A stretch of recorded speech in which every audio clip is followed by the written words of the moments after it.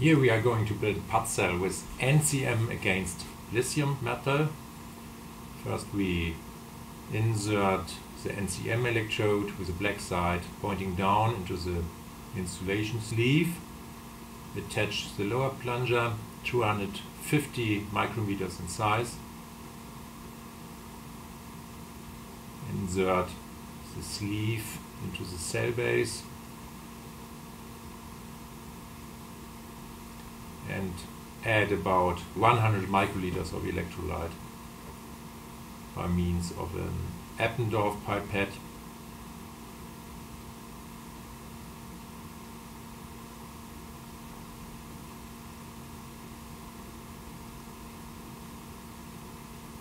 Put the lithium metal electrode on top